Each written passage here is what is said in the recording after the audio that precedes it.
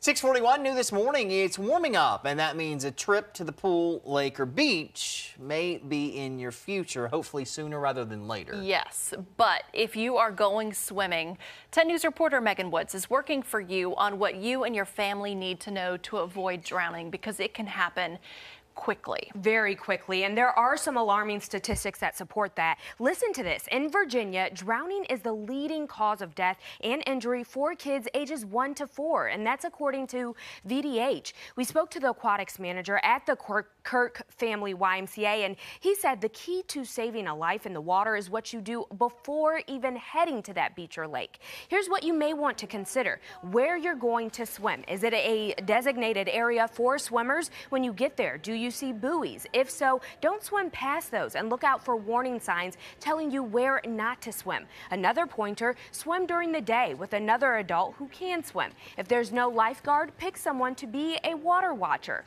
Bring your own life vest and flotation device that doesn't rely on air like a noodle. The most important safety tip, take swimming lessons, kids and adults. Don't just keep them in for three months. Keep them in for six to eight months and realize even then, after swim lessons have occurred, uh, there's no such thing as water safe. So even if they've had lessons, yes, they are 88% less likely to experience a drowning, you still need to watch them.